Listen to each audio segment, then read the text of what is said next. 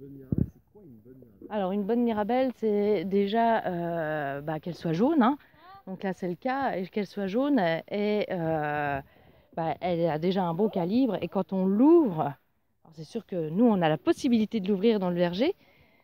Et surtout quand on la goûte, on, sent que bah, y, a le- sucre et, qu'elle est bonne à être, cueillie. D'accord. La, petite- couleur rouge, un petit peu, un petit peu des reflets? C'est la vraie mirabelle. c'est la vraie mirabelle. C'est comme ça qu'on la connaît. C'est la bonne Mirabelle. Alors c'est sûr qu'elles sont pas toutes rouges, hein, pas toutes tachetées, puisque tout dépend de l'exposition. hein.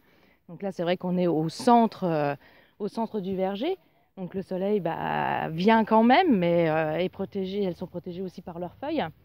Mais on voit, bah, de toute façon, il y a, il y a le jaune et, et- et le principal, c'est qu'elle soit jaune. hein. Donc euh, voilà, là on voit bien que celle-ci, euh, elle peut être dégustée euh, avec plaisir.